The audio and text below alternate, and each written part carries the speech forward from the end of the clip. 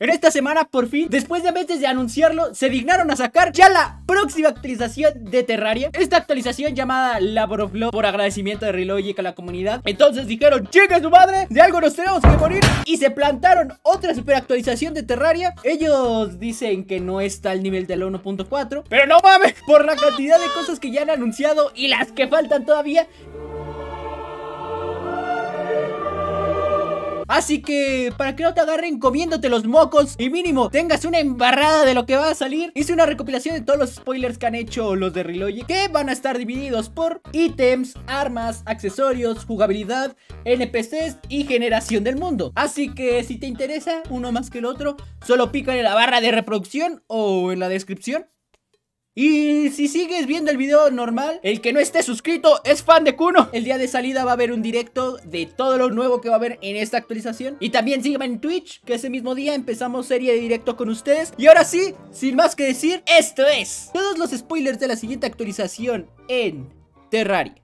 Así que empezamos por los ítems. ¿Qué va a haber de nuevo en esta actualización? Nuevas mascotas ¿Cuántas? Pues sepa la verga. Pero ya han confirmado la combinación de la reina y el rey slime Para tener las dos mascotas a la vez. Se sabe que habrán más porque Red contestó que habrá unas cuantas en Twitter. Entonces si se pone bien loco También a lo mejor combinan a los tres jefes mecánicos. Un nuevo minicar que es el Fart Car. Como ni se nota que estos güeyes tienen un fetiche con los excusados. Escuchan pedos cuando se usa. Va a haber una nueva variante de musgo Para las únicas dos personas que le hacían algo útil esta cosa. Nuevos muebles y casas y bloques con temáticas de coral, donde también parece estar implícito que va a haber una nueva generación de coral. Un nuevo tipo de madera con sus respectivos crafteos. Se ven muebles, muros, seguramente armaduras y este tipo de césped se ve muy raro. Habrá un nuevo tipo de líquido. ¿Qué chingados va a ser? ¿Quién sabe? De eso no se habló de más. Nuevos tipos de pinturas, como siempre en cada actualización, que estas se van a encontrar en las casas abandonadas del subsuelo. Un nuevo cubo de miel ilimitada, como el que ya existe de agua y de lava. Y también va a haber ítems que absorban líquido, como la esponja que ya hay en Minecraft. Una nueva poción parecida a la de espeólogo, solo que esta revela todos los bloques infectados de un bioma. Y esta utilidad es para mandar a la chingada con el Crevirator todos los bloques de ese bioma. Una de las pinturas más curiosas, seguramente de esta actualización, ya que esta te deja volver invisible las construcciones con una torrecita que se activa y desactiva a tu antojo. No sé para qué chingados alguien quiere convertir en invisible una construcción ya que los bloques no desaparecen, solamente se vuelven transparentes, pero seguramente alguien le saca provecho en la creación de mapas. La nueva montura de furros,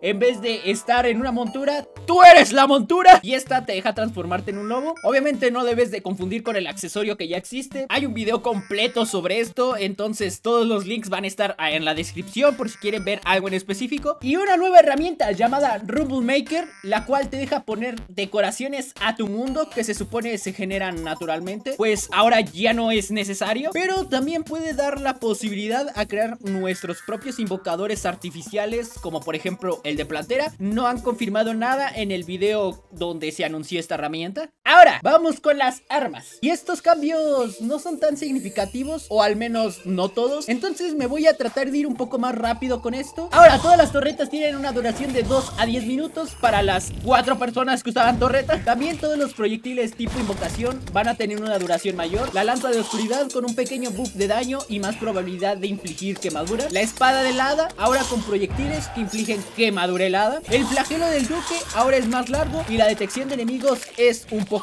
mayor. Los proyectiles de la ira estelar ahora pueden golpear múltiples enemigos. El báculo de Moonlord ahora los rayos son mucho más rápidos. Y también habrá un nuevo sprite en la Muramasa. Y algo que agarró en curva a todos son los efectos visuales para el Excalibur, la Espada de la Noche y sus respectivas mejoras. También tiene pinta de que bastantes armas melee tendrán ese mismo efecto, pero solamente han sido confirmadas para estas cuatro armas. Los cambios en accesorios, ¿qué van a ser más que nada visuales en estos? En los accesorios de información, el mensaje aparecerá en amarillo si es considerado relevante lo que muestra. Ahora todos los accesorios se pueden poner en vanidad, cosa que habían quitado en la 1.4, no sé muy bien por qué. El detector de metales ahora también te dice cuando hay un invocador de la reina slime cerca. La mochila de abeja ahora afecta al invocador de este mismo, al igual que la pistola de avispas, incrementan su daño y su penetración de armadura. Se le agrega un objeto más al escudo el espejo del bolsillo que este niega la petrificación. Aún no han dicho si se va a craftear directamente en el amuleto del Cruz Ansata. Y pues valió madre, porque si está bien difícil de conseguir.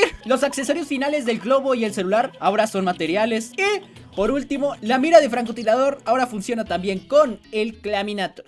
Ahora, en cuanto a jugabilidad, los muebles y las decoraciones se pueden colocar ahora sobre las peceras o jaulas. En el evento de Cristal Eternia puedes saltar oleadas solo presionando el botón del cristal. Ahora, las tumbas también hacen daño como si fueran rocas de piedra, golpeando NPCs o compañeros en el multijugador. Pero solamente va a funcionar esto en una semilla especial que aún no se ha revelado. Un nuevo máximo de stack a 10.000 objetos por slot para evitar llenar los inventarios de pura chatarra. Ahora las cajas de bufos como la bola de cristal, reserva de munición y todas esas madres. Quedan los bufos a pesar de morir en todo ese tiempo. Ahora las cuerdas también se pueden colocar entre los raíles y las plataformas. La mesa de guerra ahora va a tener una utilidad que puede dar el buff de máximo de invocaciones en uno más. También se pueden craftear ya cofres cerrados con cadenas y el cofre de tu preferencia. La estatua de ángel ahora hace algo después de 11 años del juego. Las linternas y los barriers enemigos ahora también se pueden colocar en plataformas en vez de solo bloques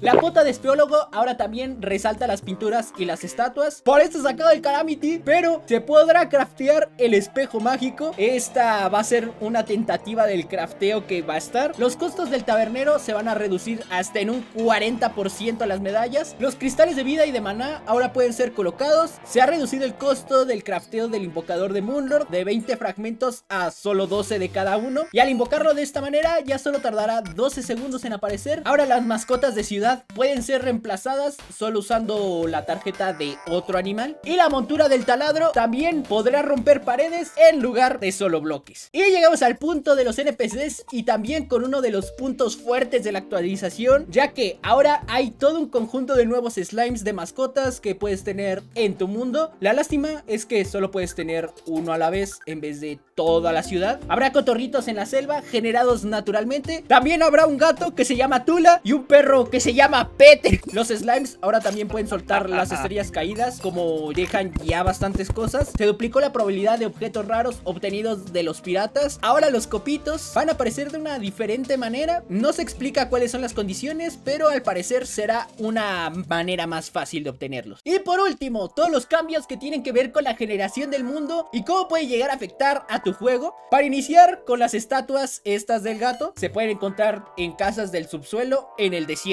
Ahora, el bulbo de planteras se genera inmediatamente después de matar a los tres jefes mecánicos. Habrá al menos 17 nuevas entidades en el juego. Por el bestiario, como lo vemos, se ha confirmado un nuevo track de música. ¿Para qué o para quién? ¿Quién sabe? Ahora las mascotas aparecen al momento de cargar un personaje en el menú del juego. También hay nuevos mensajes de muerte. ¿Para qué o para quién? Aún no se sabe. Y para cerrar este glorioso video con el peto en alto, han confirmado el crossplay entre plataformas que tiene toda la pinta de que saldrá ya con esta actualización. Pero para eso hay que esperar al miércoles y a ver qué sale.